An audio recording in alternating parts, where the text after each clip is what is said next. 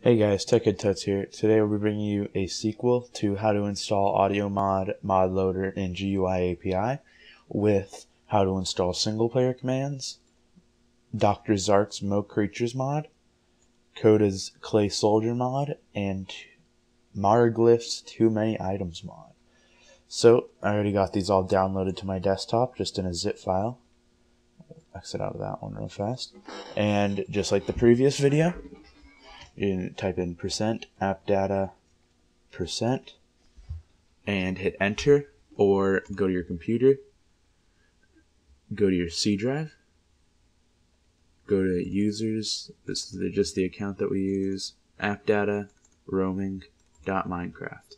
And after you're in the dot minecraft folder go to your bin and also as in the previous video there will be an annotation on screen um, you're going to want to right click, make sure you have an archiving 7-zip, WinZip, WinRAR, something like that. Open with whatever your archiving is, and it'll open up in that. Close. And so here is your minecraft.jar file. It should still have all of the um, items from when you installed ModLoader. So we'll start with too many items. We'll just go down the list. This one is just as easy as the last ones were. All you got to do is drag and drop. And okay. And we're too many items is now installed. I'll exit out of this real fast. Clay soldiers. I think this is also just just as simple. Close. Select these, including the Claymans folder. Drag it over. Add and replace files. And we're done. DrZhark's Mo Creatures and single player commands are a little bit there's more involved in um, installing them. So I closed out of that by accident, but I'm going to have to open that back up. And so there we go. Going to dot Minecraft. And as you can see, there is a mod, or there isn't a mods folder, but there is a resources folder. And so you're just going to take, you can delete this so it's easier to select them. And take them, drag them in there. And yes, it'll um, combine both of the resources folders into one. So that's that's that is how to install Mo DrZhark's Mo Creatures, and now we will go on to single player commands. So I'll just delete this because it's also easier to select them. You're going to take, drag up all the way up until select all of the class files, but don't select worldedit.jar. So I have all those selected. Drag all the .class files into your minecraft.jar, and then take your world edit, and I closed out of it again. I don't know why I keep doing that.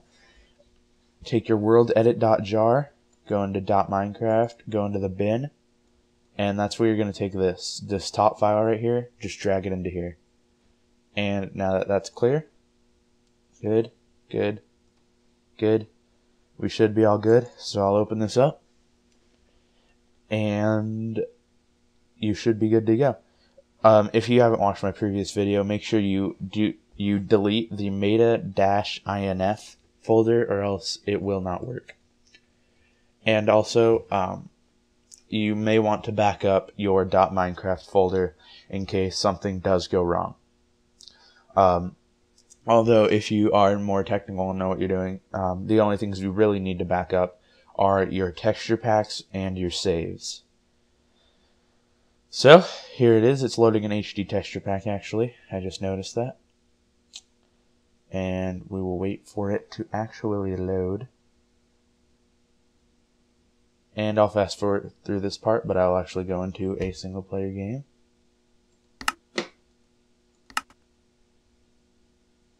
Loading up.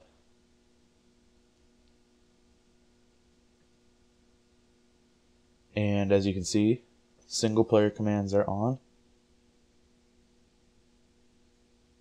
I can do fly mod.